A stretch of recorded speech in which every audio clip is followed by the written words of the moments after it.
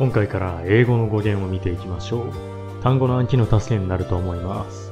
では早速左から見ていきましょう。まず人間ですが、旧約聖書に神は土から人間を作ったという記述があって、そこから大地を意味するフムスと同じ語源のヒューマンと表現されるわけですね。そのフムスですが、ここから他の単語を導き出せます。左から見ていくと、まずはヒューミリエイト。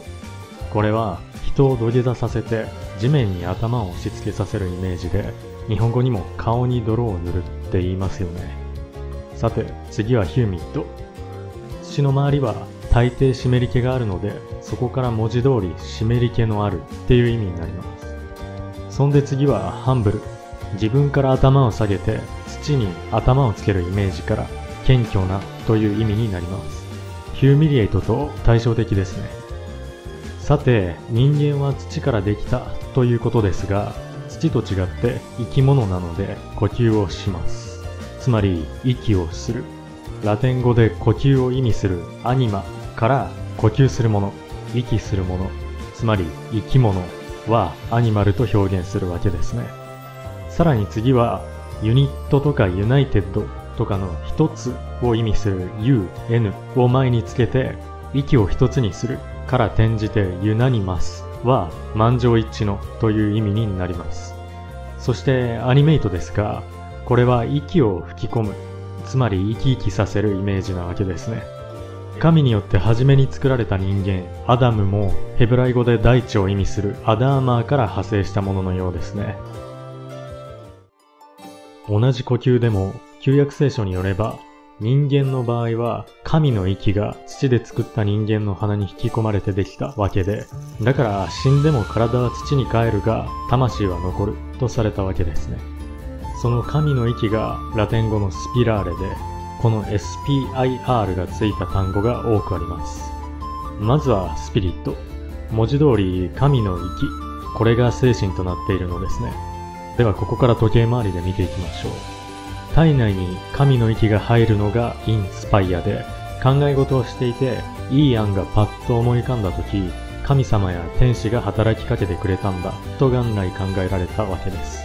次に、炭酸飲料で気が抜けたと言いますが、同じように液体が蒸発して蓋を抜けていく様も気、つまりスピリットが抜けていく、トランスピレーションと表現されるわけですね。次に、人が死ぬとスピリットが抜け出るので、エクスパイアはなくなるを意味します。次は人間の皮膚を通って汗が気化していくから通るのパーを使ってパースピレーションが発汗を意味するわけです。スウェットの場合は疲れてダラダラ出る感じで少し下品なようです。次にアスパイアですが、その方向に向かうあがついているので、その方向にハーハーと息を上げる、つまり熱望するという意味になっています。コンスパイアのコーンは一緒にという意味なので、頭を寄せてひそひそ話す凶暴となったわけですね。同じ魂でもゴーストやソウルもあるので違いを見ていきましょう。まずはゴースト。これは例えば幽霊を見た時にゾーッとする、ガクガクする。文字通りそのイメージでゴーストとなったらしいです。イギリス人からすればゴーストはもともとその土地にあった土着語で、日本で言えば大和言葉の魂に相当します。一方、スピリットは外から入ってきた外来語で、日本で言えば精霊ってところですね。